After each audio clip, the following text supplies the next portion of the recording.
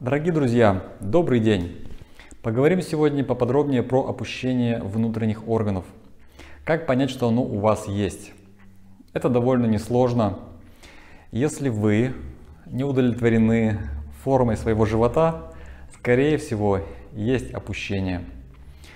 Если вы человек худощавый, вы можете посмотреть на себя в зеркало, сделать фотографию и несмотря на то, что тело может быть худым, но внизу под пупком над лоном будет торчать небольшой животик. Если вы человек более полный, то живот будет свисать, он будет как бы не подтянутый. Это внешний явный признак опущения внутренних органов, потому что живот имеет такой размер не потому, что живот плохой, а потому что внутренние органы смещены со своего места. Связочки, которые подвешивают кишечник, растянуты. Прежде всего вследствие копчиковой травмы.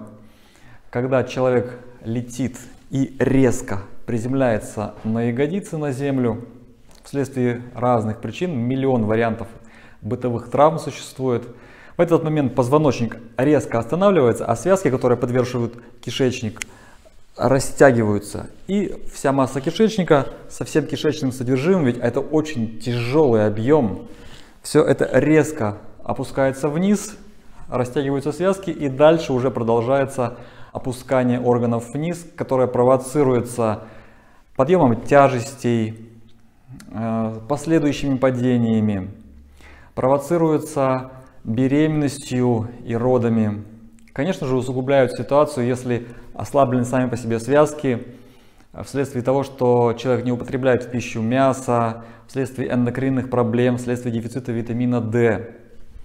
Что происходит далее?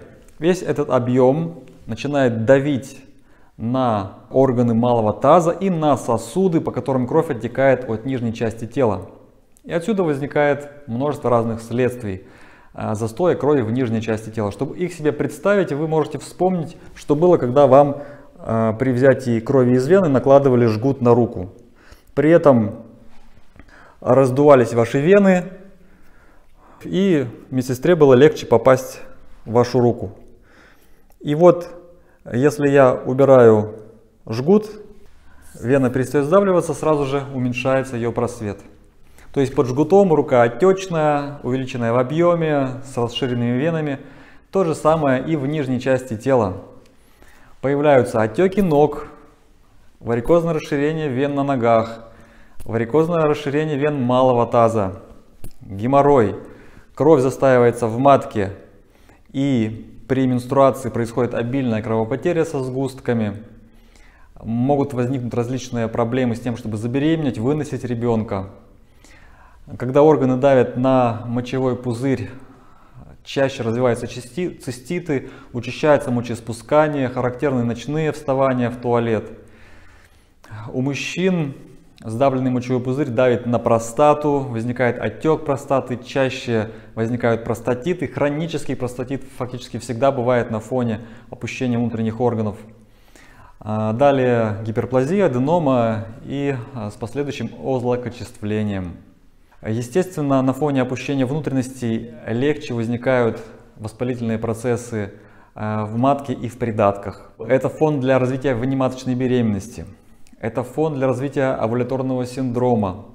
Это фон для развития гиперпластических процессов в эндометрии, развития миомы матки, кист яичников. Э, далее очень характерный симптом для опущения внутренних органов – это ощущение тяжести в животе после еды. Связано это с тем, что внутренности и так уже опущены вниз, и даже если небольшое количество еды добавляете туда, дополнительные 100-200 грамм, эту систему слишком сильно растягивают, ощущение натяжения, тяжести возникает. Так что, дорогие друзья, несложно догадаться по данным симптомам, что у вас есть опущение. Что же с этим делать? В первую очередь нужно выполнять упражнения для подъема внутренних органов. Вы можете его посмотреть по ссылке под данным роликом. Переходите, делайте. Только я вас очень прошу, все те нюансы, которые я там указываю, выполняйте досконально по пунктам. Иначе результат будет не тот, который вы хотите. Что-то примерное не подойдет в точности, как я там говорю. Каждое слово имеет значение. Мне доводилось видеть, когда на прием приходили женщины, выполняющие данное упражнение, показывали, как они его делают, и это было очень далеко от реальности. Там все просто. Задача внимательно выслушать и выполнить все один в один, как я объясняю.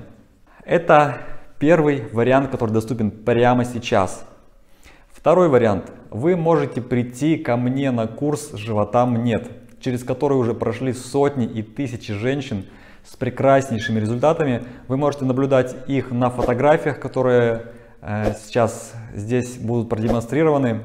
И можете понять, что такие же результаты точно доступны и вам, если вы будете усердно трудиться. Э, подчеркну, если вы просто приходите на марафон, оплатив его, живот у вас э, после того, как вам пришел чек об оплате, не исчезает. Для этого нужно реально работать. И те женщины, которых вы видите на фотографиях, они реально поработали. Э, упражнения, которые я подобрал для курса, в течение дня занимают немного времени, но они подобраны таким образом, чтобы сработать очень и очень эффективно. Подчеркну, дорогие друзья, опущение органов само по себе никуда не девается. С возрастом оно может только усиливаться и прогрессировать. В запущенных случаях опущения у женщин может быть выпадение половых органов, образование грыж э, передней или задней стенки влагалища, выпадение матки. Мне доводилось встречаться с женщинами, которые в 62 года имели грыжу половых органов. И интересно то, что когда было им 20-30 лет, им говорили, у тебя есть склонность к опущению, у тебя есть склонность к выпадению. 30 лет было упущено впустую. Поэтому, дорогие девушки, а, не упускайте время, принимайте меры и будьте здоровы. Сохраняйте свои органы в правильном положении и пусть животик ваш вас радует своим внешним видом.